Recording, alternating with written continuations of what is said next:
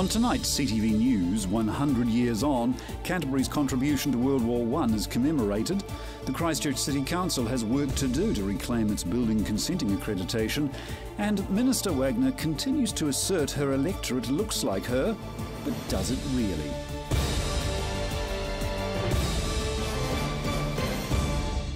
This is CTV News. I'm Grant Mangan. St John officially started the move back into Christchurch's central city yesterday.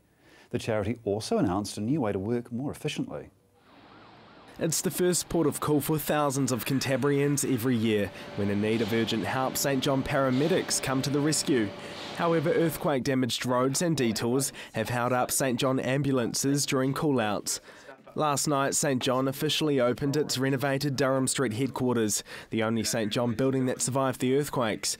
During the opening, the chairman for St John Christchurch had the chance to unveil its new operational model as part of a $7.7 million rebuild plan that could one day be rolled out around the rest of the country.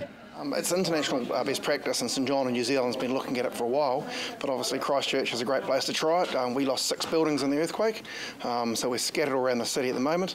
So we've really been able to take a, a genuine greenfields approach of um, how we meet those needs the best. St John's new way of doing things will see a central city hub base form near Christchurch Hospital.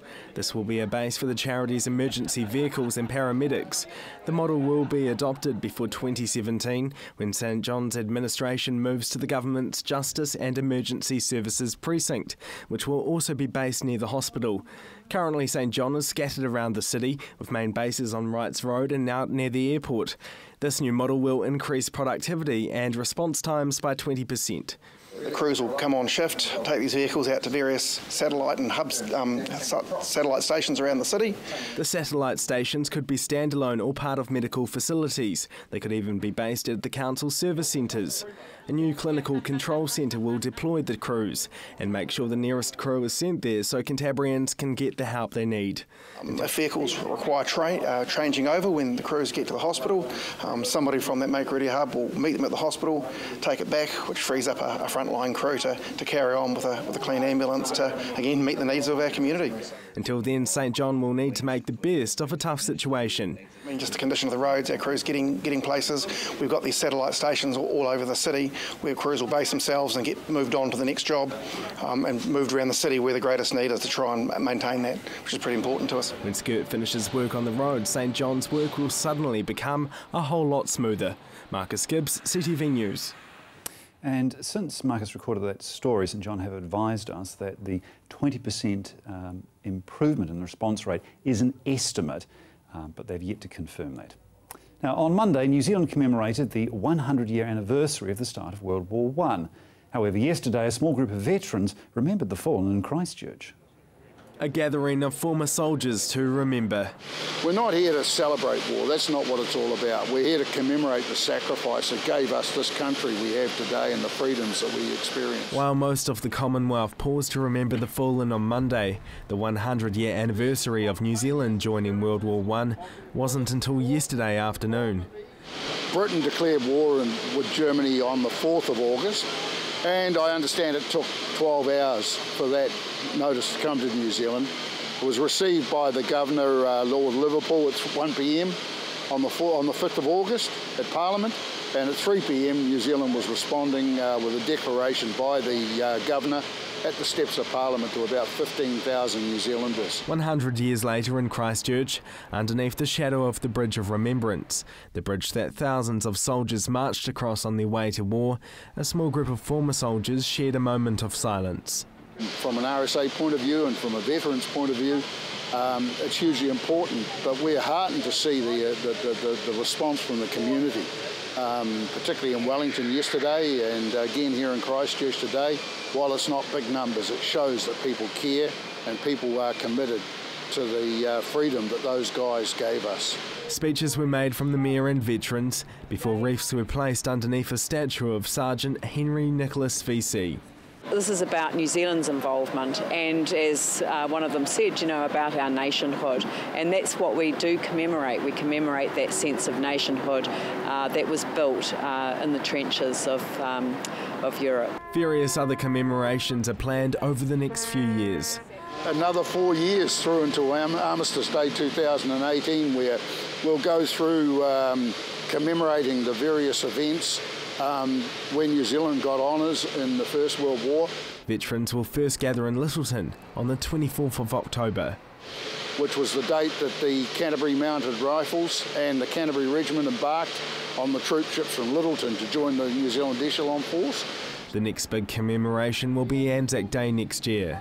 Next year, of course, is important to us because it's the centenary of the Gallipoli campaign. Um, huge loss of life for New Zealanders, not the biggest loss of life during World War One, but certainly the first one, and the baptism of fire for us. The Christchurch RSA will also mark its centenary in December next year.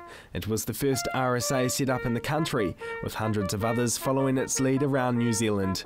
Marcus Gibbs, CTV News. Building and Construction Minister Nick Smith yesterday told Christchurch media, despite the minister's and mayor's confidence, the independent agency charged with accrediting the Christchurch City Council to issue consents still has concerns about the council's ability to process each consent within 20 days. The Christchurch City Council has lost its consenting accreditation, but it hopes to get it back by December. That's if it meets the requirements of International Accreditation New Zealand. IANZ says the latest audit into the Christchurch City Council's Building Control Authority has found that the council still needs to meet nine corrective action requests. IANZ has also made eight strong recommendations, which the Council will need to follow before it can be awarded that much sought after accreditation.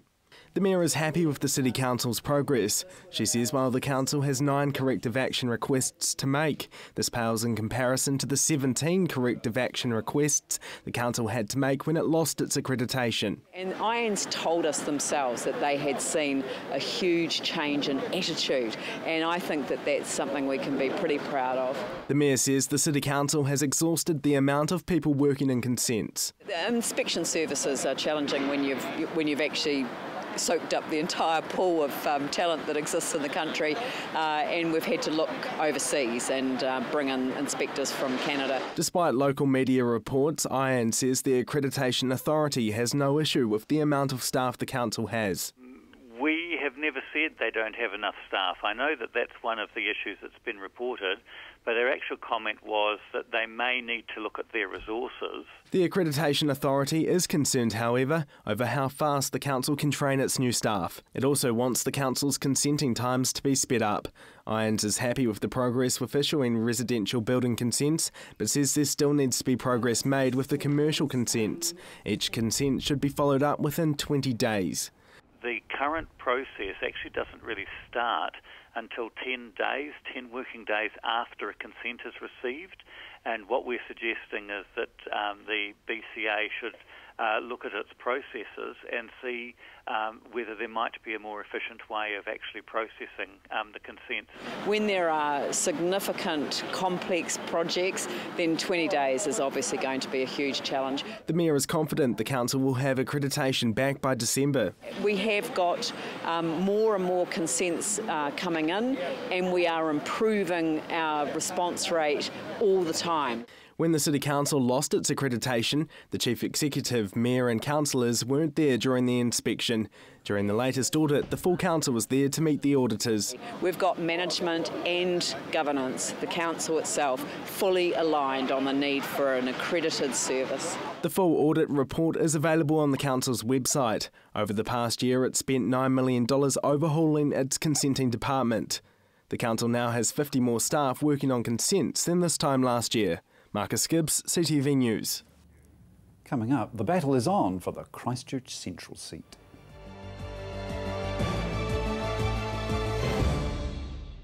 Every Saturday evening at 8 o'clock, we screen a riveting and educational documentary ranging from history to music, culture to religion, and everything in between.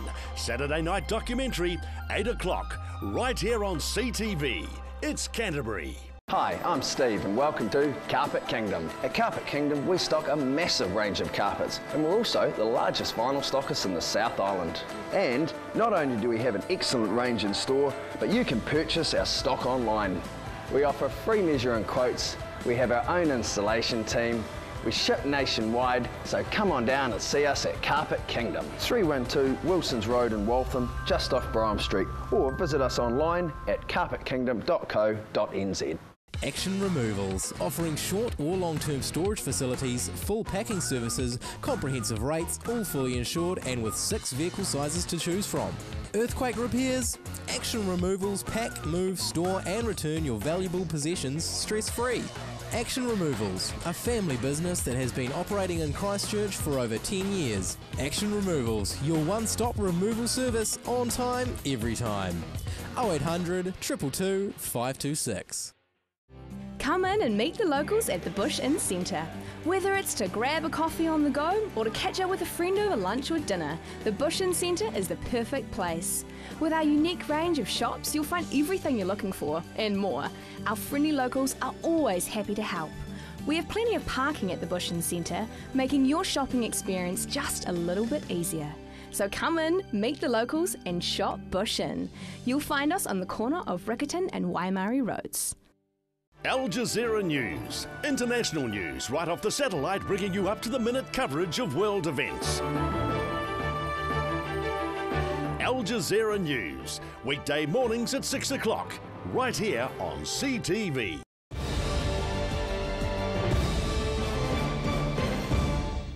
It's just over a month until the general election. Minister Nicky Wagner scraped through to take the Christchurch Central seat in the 2011 election, but is she set to take the seat again this time? Emma Cropper caught up with the top contenders for the seat. The race is on for who will take Christchurch Central's seat in this year's election. Currently held by Nicky Wagner, Parliament's newest minister outside of Cabinet. Um, I've worked really hard in that area. I know a lot of those people.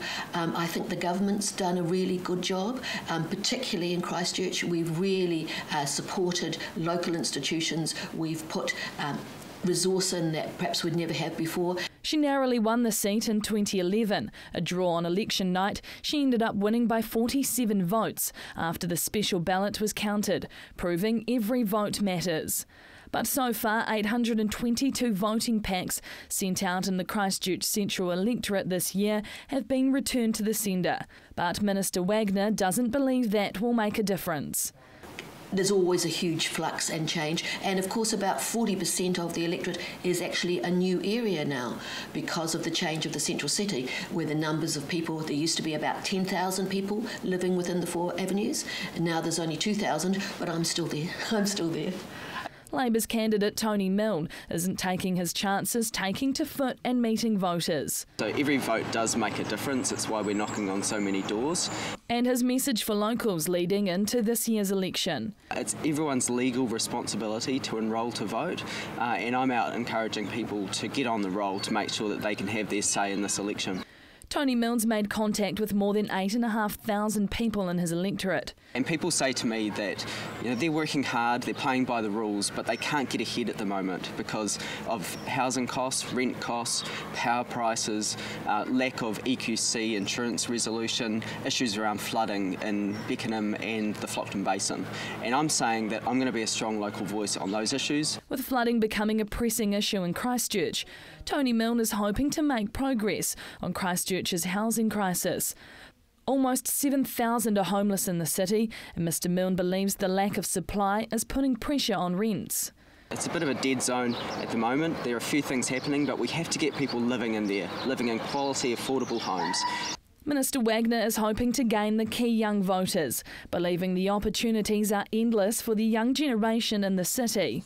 And I look at the young people coming through and the fact that we now have an innovation precinct uh, where the Vodafone connects them into the global network where they can train young people, where we have a graduate uh, technology school next to CPIT. And I just think of all the exciting things that are going to happen in that city as it rebuilds. Minister Wagner believes making the city strong, sustainable, and safe will ensure it's future proof for the next 140 years. What we want out of a new city, and we're really for, fortunate that um, most of the money is going to come from insurance, government support, and investors. Um, what we really want is a stronger, safer city. That's the bottom line. But we want it to be sustainable. We want it to have really good public places. We want it to be vibrant. We want it to be people friendly. And we're seeing that happen. Minister Wagner's confident she'll win next month's election, as she says the electorate bears a striking resemblance to her. I've made a joke that I'm the only MP that has an electorate shaped after it because it's got legs and a hat and arms and all sorts of things. And um, so that's been a bit of fun. However, no one will know where the vote will go until election night. It could be a blue seat, maybe red or even green. Emma Cropper, CTV News. Settling insurance claims from the Canterbury earthquakes is picking up pace. Making progress on unsettled claims, New Zealand's Insurance Council has topped the $12 billion mark of Canterbury earthquake claims. 80% of commercial claims and 66% of residential claims have been fully settled. Newstalk ZB reports the number taken from the first quarter would take another 11 years for the claims to be settled, but the recent quarterly figures show a decline to just take six years. The Insurance Council says they've been settling 17 residential claims every day. The Insurance Council's Chief Executive, Tim Grafton, says that's $11 million a day to get Cantabrians back into homes and enabling businesses to move forward. The Insurance Council have recorded a 20% drop in the number of customers undecided with no offers. Mr Grafton believes it represents the substantial effort by insurers to progress claims that may have been previously stuck. Labor has big plans for their new policy targeting youth employment. Labor is looking out for the rising generation. A $183 million scheme to get every person under the age of 20 getting an education, training, or working. 75,000 New Zealanders between 15 and 24 aren't earning or learning. Labor believes that will soon change with the youth employment package that we don't think anyone under 20 should be outside of education, training or work. We're committing to that goal and we're putting the resources in to make it happen. 70% of school leavers don't go into tertiary study.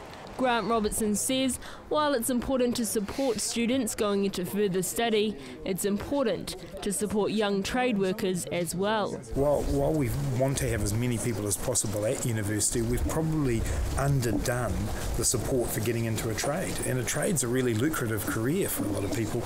I'd like to see more young New Zealanders into that. Hoping to get young New Zealanders off the dole and into full time work, Labor will give over $9,000 to get 18 and 19 year olds into It's one of our policies is to allow the payment for the dole for 18 and 19 year olds to be converted into a subsidy for apprenticeships. So that's actually to give those employers a little bit of extra money to take on people rather than those people just languishing on the dole. The aim for Labor is to get 12,000 opportunities for young workers over the next four years. Grant Robertson says Local businesses are eager to get involved. Christchurch's Lyttelton Engineering currently has 14 apprentices. Grant Robertson is excited to be helping companies help young workers. It'll especially help small businesses who often struggle to take apprentices on if they don't have a lot of orders or they're, they're struggling themselves. This policy will really help them say, yep, we can afford to have an apprentice or two apprentices right through the year. Labor's Grant Robertson says the national government's boot camps have a reoffending rate of 83%. Labor plan to scrap the initiative and do things a little differently. There's a lot of individual programs out there at the moment, but we think this brings them together and it focuses on the group that most needs assistance when they're leaving school and maybe they don't have a plan for the future. So we think our plan's more targeted, it's more focused, and it provides a range of options for people. Providing Labor wins the September election, the youth employment package will be in place by the end of their first term. Joelle Batista, CTV News. The alleged Thai takeout vandal, who was named and shamed on Facebook, has been arrested. Christchurch police have confirmed a 20 year old male has been arrested at his home in relation to a vandalism attack on Thai container. Early Saturday morning, the takeaway was broken into, cameras were destroyed, and the kitchen was flooded. The owner of the Thai Container restaurant posted footage of the alleged vandal on Facebook. The initial post was shared more than 500 times, and a name was provided to the owner within 30 minutes. After an attempt to meet with the vandal failed, owner Ren Bao named and shamed him, posting personal details on Facebook, including the vandal's name, occupation, and address. The arrested man has been granted bail and will appear in court tomorrow charged with burglary.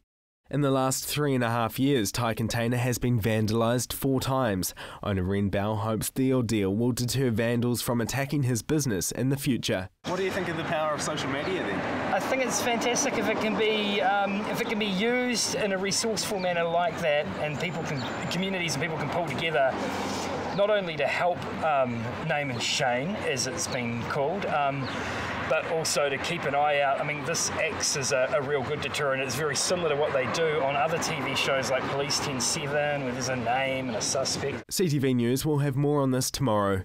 Marcus Gibbs, CTV News. Coming up, local performers are wowing crowds in Scotland.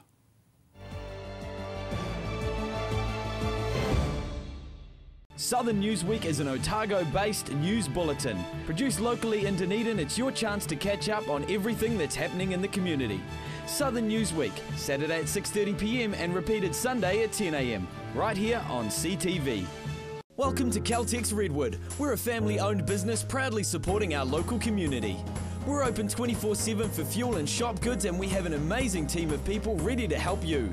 Save at least 6 cents per litre using AA Smart Fuel cards. We also offer great value on our LPG bottle fills. We have a full workshop and Bridgestone Tyre Centre. Our mechanics and tyre technicians will get your car sorted. Caltex Redwood, we're just down from St Bede's on Main North Road. Caltex Redwood, what drives you? Are you looking for more from your local channel? CTV are online. Our latest listings, on demand shows, program information, all on the CTV website. We'll see you there.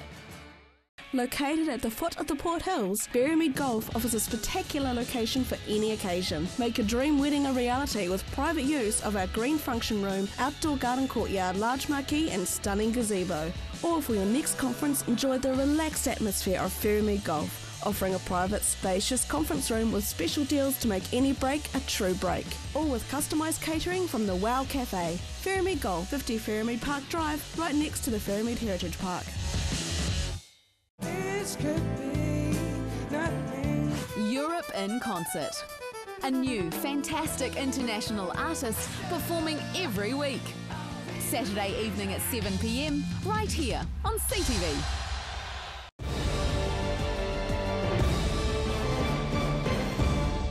Local athletes have proven themselves on a world stage at the Commonwealth Games, but now it's time for local performers to do the same.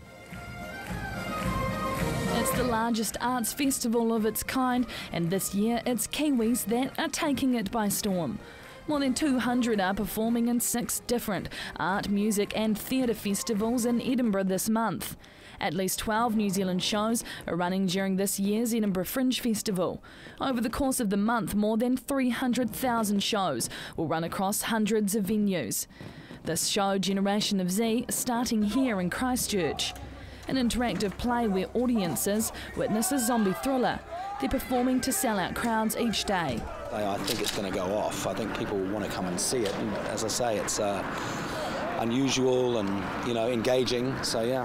Haka, a show by New Zealand Kapa Haka groups, Te Wakahuia and Te Whānau Apanui, is performing for hundreds each day. The performers are also taking part in the Edinburgh Military Tattoo, along with dozens of dancers from Canterbury, being seen by more than 220,000 people and broadcast to millions. Time now to check out your regional weather.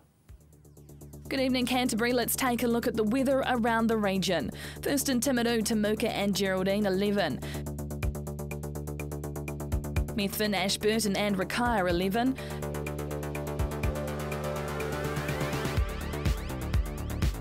Darfield, Leeston and Rolleston, you had 11 degrees today. Lincoln and Christchurch 11 also. And looking at Akaroa, they've had the low of the region again today on 10 degrees. In the Waimakariri district, Rangiora, Kaiapoi and Amberley there as well hit 11.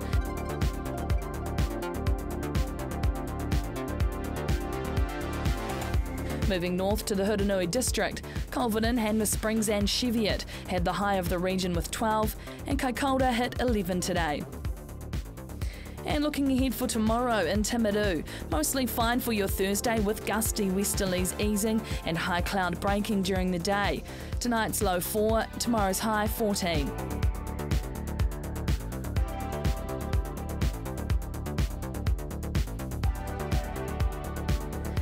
Ashburton, a fine but windy day ahead with high cloud and increasing sunny periods. An overnight low of 4 degrees and a high of 15.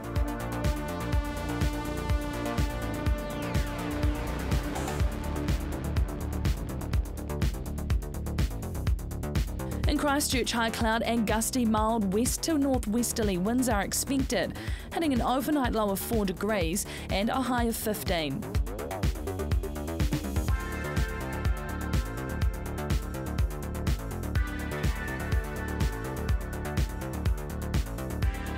And in Kaikoura, high cloud and increasing sunny periods later as strong westerlies gust all day, hitting an overnight low of 4 and a high of 15 degrees.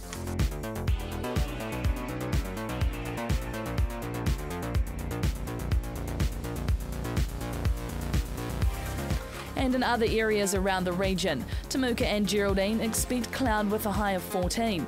Methven and Rakaia a high of 14. Darfield, Leeston, Rolleston and Lincoln can expect to hit a high of 15 degrees. Over in Akaroa, they look set to steal the high of the region on 16. Rangiora, Kaiapoi and Amberley, cloudy with a high of 15.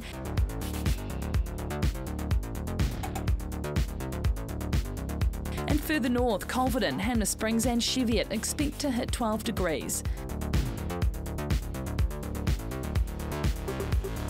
Looking ahead for Canterbury, strong gusty, very cold southwesterlies developing early on Friday morning, with a brief period of wintry showers, some hail and sleet is possible. Showers clearing for a time during the morning, but a few scattered light hail or sleet showers returning during the afternoon and evening, with temperatures cold enough for snow flurries to 200 metres. Showers will be clearing at night and winds easing out.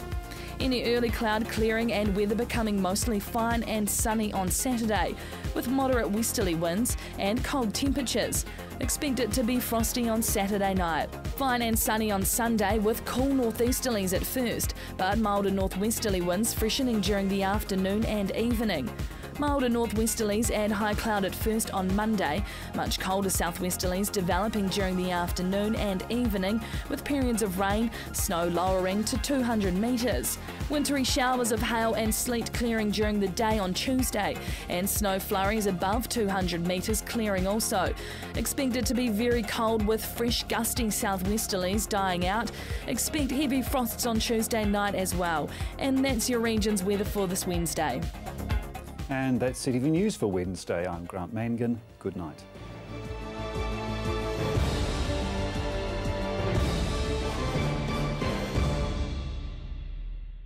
Supporting local content so you can see more of New Zealand on air.